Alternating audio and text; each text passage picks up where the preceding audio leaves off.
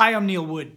One of the lessons I learned when I was training for the marathon was about persistence. And some days I really didn't feel like going out to run, but I'd look at my goals and my on my 3 by 5 card and my goal was to win the marathon in New Hampshire.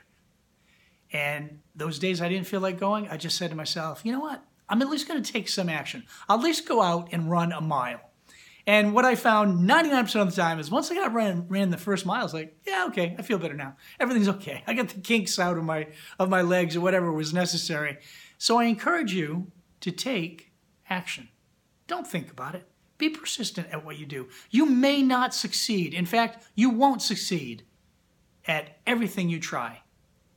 But I will tell you, if you're persistent and if you find another way, well, think about this. Think about an ant. I know when we were kids, we'd find ants on a sidewalk and would put a, a little uh, uh, stick on the ground.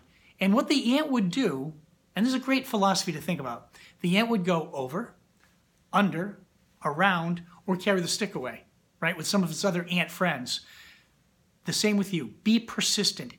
If you fail or when you fail at something, it doesn't mean you're a failure. It means you need to find another way. So be persistent. Try, try, try, try, try again.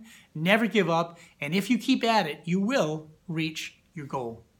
Please subscribe to my channel and share some comments when you have a chance. Thanks so much.